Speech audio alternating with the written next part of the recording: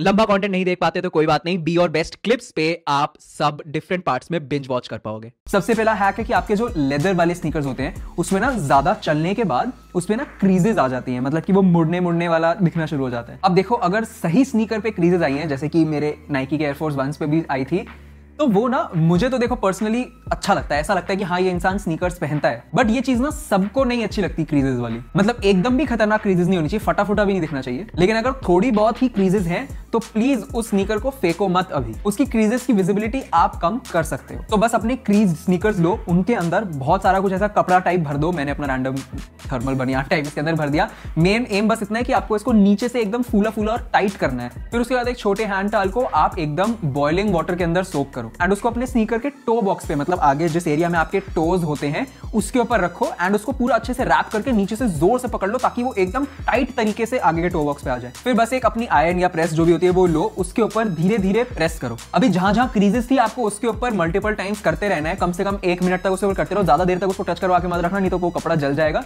But उसको धीरे धीरे करते रहो। एंड उसके बाद आप वो टाल हटा के देखोगे तो अंदर से क्रीजेस काफ़ी हद तक कम हो चुकी होती है। मतलब आप ऐसा 50 परसेंट के करीब तो चेंज देखोगे ही देखोगे। अब ये बेसिकली इसलिए होता है क्योंकि वो हीट अप्लाई करने की वजह से ना, जो उसका लेदर है, वो थोड़ा सा एक्सपैंड करता है और क्योंकि आपने अंदर बहुत कुछ ठूसा हुआ है तो वो बाहर की तरफ़ एक्सपैंड करता है, इसलिए वो क्रीज डिक्रीज हो जाती है। और आप देख ही सकते हो कि बिफोर और आफ्टर में कंसिडरेबल डिफरेंस है। इसके लिए मैंने अपने ब्लैक कलर के एयर जॉर्डन वन यूज़ करे बाय द वे आप में से काफ़ी लोग पूछ रहे थे स्नीकर कलेक्शन के बारे में। अगर इस वीडियो पे 5000 लाइक्स पूरे हो जाएँगे तो स्नीकर कलेक्शन वीडियो अपडेट होकर आ जाएगी। तो subscribe to be your best clips and be your best main channel